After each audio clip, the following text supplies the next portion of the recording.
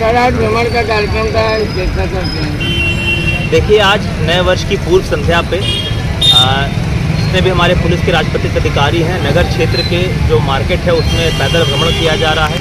यहाँ के जो आसपास के हमारे व्यापारिक नेतागढ़ हैं, उन्हें साथ में लेकर और इसके अलावा जितने भी हमारे थाना प्रभारी हैं और राजपत्रित अधिकारी हैं, सभी को शाम से ही फ़ील्ड में रहने के निर्देश दिए गए हैं। सभी लोग अपने अपने क्षेत्र में लगातार भ्रमणशील रहते हुए, हर गतिविधियों पर नज़र रखते हुए हैं। लगातार लोगों से अपील की जा रही है कि जो स्पेशली वाहन चला रहे हैं तो ड्रिंक एंड ड्राइविंग ना की जाए। इसके विरुद्ध भी लगातार पुलिस द्वारा अभियान चलाया जा रहा है। और यहाँ अभी पैदल गश्त के दौरान जो इंक्रोचमेंट की समस्याएँ हैं, उसका जायजा लिया गया है।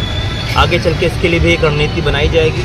और सीसीटीवी कैमरे ज़्यादातर व्यापारिक प्रतिष्ठानों पर लगे हुए हैं। जो शेष हैं, उनसे भी सुरक्षा की दृष्टि से हमारे द्वारा अपील की जा रही है कि वो भी सीसीटीवी कैमरे लगवाएँ।